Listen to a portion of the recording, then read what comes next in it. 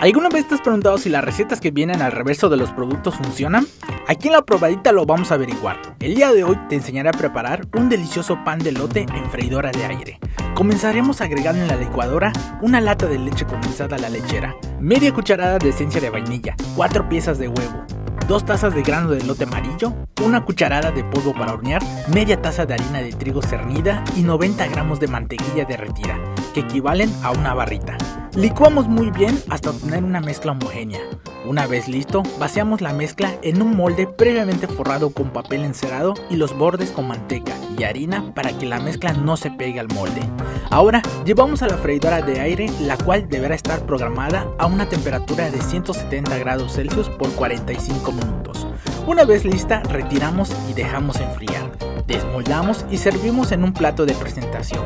Decoramos con azúcar glass, colocamos unas fresas en la parte superior dejando un espacio en el centro, donde colocaremos unas cuantas zarzamoras. Coronamos con unas hojitas de menta. Y listo, ya tenemos este delicioso pan de lote elaborado en la freidora de aire listo para compartir. Anímate a preparar esta deliciosa receta, estamos seguros que te encantará.